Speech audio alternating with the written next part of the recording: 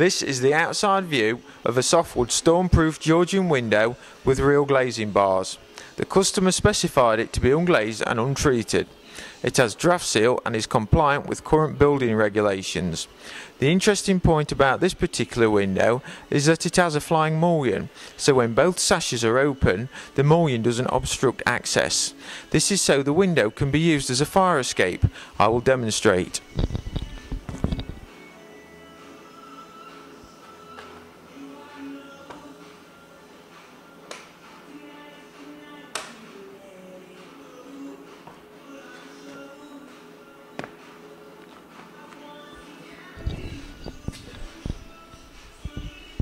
Had the mullion been fixed into the frame as demonstrated by my colleague, it would have contravened its use as a fire escape window due to the clear opening not being wide enough.